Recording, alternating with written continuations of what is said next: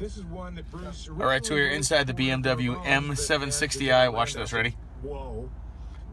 Yeah, we just turned the volume off with your finger. This car is uh, the most ridiculous thing we've ever had. It's 180,000 bucks. It has 601 horsepower, a twin turbocharged V12 engine, and uh, as you can see in the back, there is uh, plenty of room. Jack, get your uh, tray table out. So the thing has everything that any sort of uh, junior executive or major executive would want, including a tray table and a footrest, which uh, an eight-year-old can And a. Samsung tablet. And a Samsung tablet. Yes, Tom, show off the tablet. So this can control anything in the car.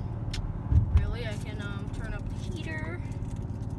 Just did that. Hey, that's mine. I know.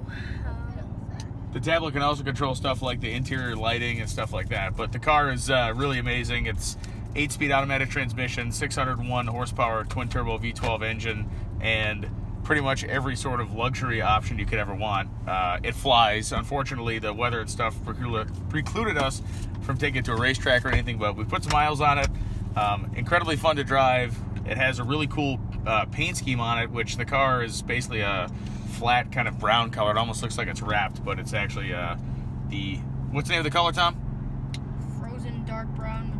Yes, frozen dark brown metallic. So um, this car is ridiculous. It is very expensive, but it's worth every penny, and uh, we have to give it back to BMW tomorrow, which kind of stinks, but it's fast too. so is it BangShift approved? If you're a rich guy, it's BangShift approved. It is uh, a whole lot of money, but it's a whole lot of fun too.